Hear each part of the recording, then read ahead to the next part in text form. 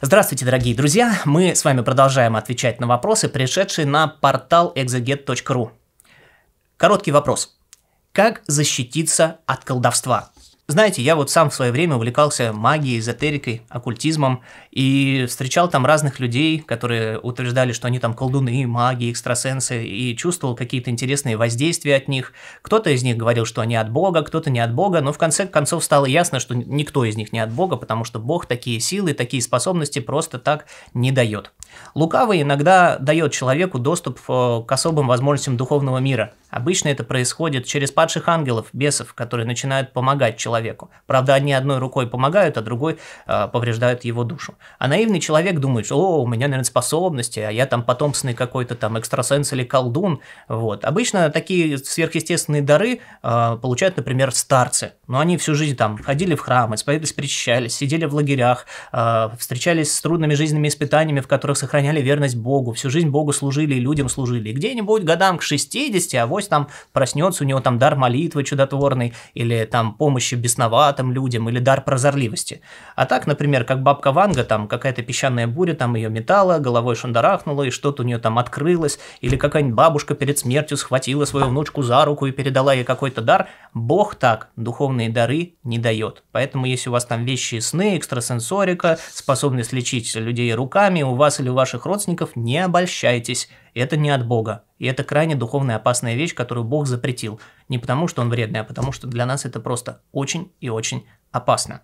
И вот люди, которые занимаются колдовством, Некоторые из них не могут вырваться из лап дьявола, а некоторые потом с перепугу приходят к Богу. Вспомним книгу «Не святые святые», как владыка Тихон, будучи студентом в ГИКа, занимался спиритическими сеансами и, испугавшись, пошел крестился. Вот, для него это, наоборот, был такой толчок для того, чтобы понять реальность духовного мира и обратиться к Богу, потому что никто, кроме Бога, этим злым силам противостоять не может. Даже если мы возьмем Священное Писание, мы не встретим э, случаев, когда до Христа кто-то изгонял бесов. А Христос и его ученики божественной силой, благодатью, божественной этой энергией могли их изгонять.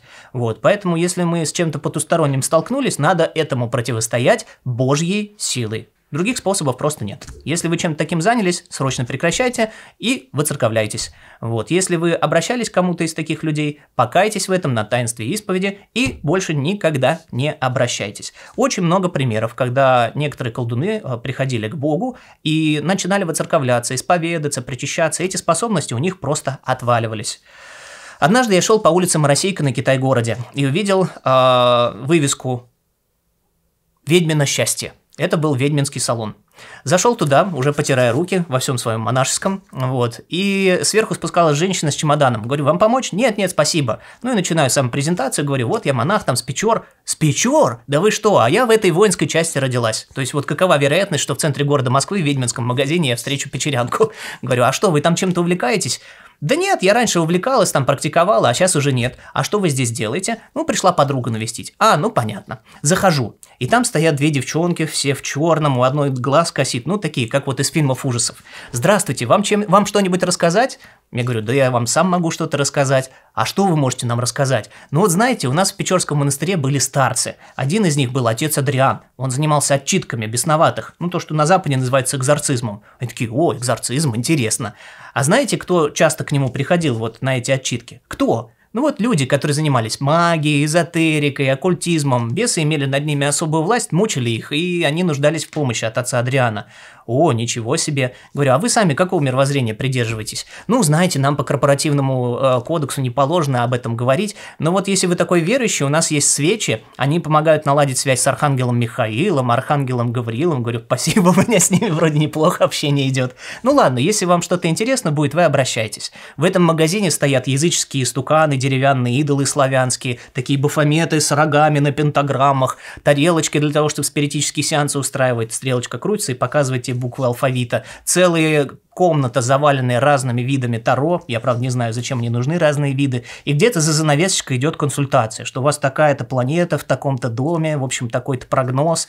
Я читаю книгу отзывов. Ой, спасибо этому мастеру, у меня там деньги пошли. А вот этот мастер точно потомственный сильный человек, у меня там э, парень нашелся там или еще что-то произошло. И куча благодарностей. Вот. И заходит девушка такая, ну, очень хорошо одетая, с таким вот крестиком, со стразиками, и начинает все рассматривать. Я говорю, девушка, а вы тоже чем-то таким интересуетесь? Такая, да-да-да. Говорю, ну понимаете, показываю на крестик, вот это, то, что у вас на груди висит, и то, что вокруг, оно не очень как-то вяжется. Она такая, а что, Христос против саморазвития?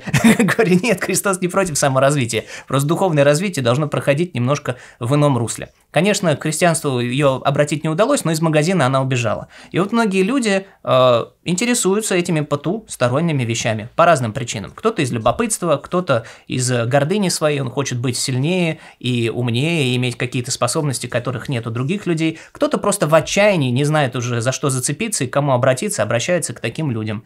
Вот, поэтому если вы хотите защититься от колдовства, вы церковляйтесь, исповедуйтесь и причащайтесь. Преподобный Паисий Святогорец говорит, что дьявол на такого церковленного человека просто гавкает, как беззубая собака, и не может ему сделать, потому что этот человек огражден силой божественной благодати. Вот и ограждайте себя этой силой.